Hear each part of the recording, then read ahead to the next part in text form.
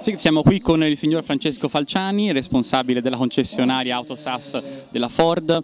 La prima domanda è come le sembra questa prima giornata dell'All-Star Game di Firenze sulla eh, situazione qui in una location veramente particolare e privilegiata per il basket fiorentino e quindi eh, cosa le sembra di prima, questa prima giornata? Ma diciamo, le prime impressioni sono estremamente positive, vedo tanto pubblico, soprattutto giovani e questo ci fa molto piacere.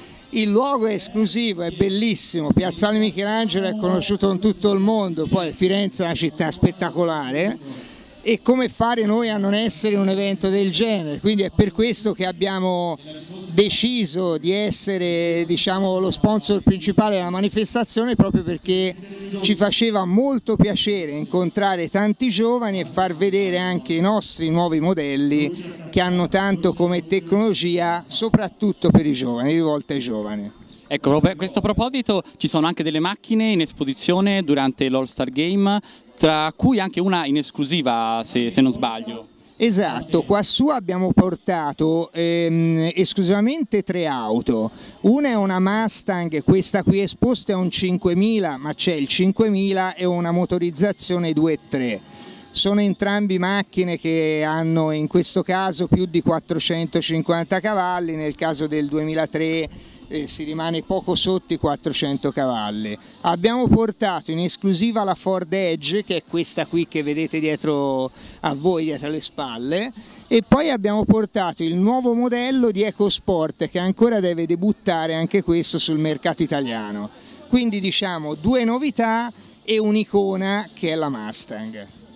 Perfetto. Quindi poi abbiamo comunque un pubblico molto variegato che si affaccia sicuramente a Piazzale Michelangelo per curiosità, per vedere questo playground installato eh, qui in esclusiva.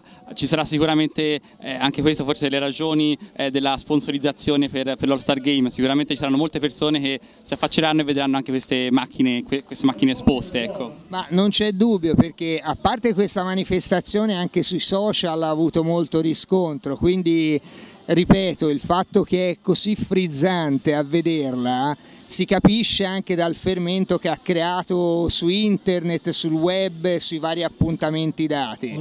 La serata è frizzante, ripeto, la cornice è esclusiva, abbiamo di tutto, qui volendo potete venire a cena, mangiare un gelato, vedervi tre novità di macchine e godervi in ogni modo tutte le partite, con anche poi la possibilità, ricordiamoci, di finalità benefiche con la Fondazione Tommasino Bacciotti. Quindi, ripeto, volentierissimo e tutte le volte che ci sono queste manifestazioni troverete sempre Autosassa accanto.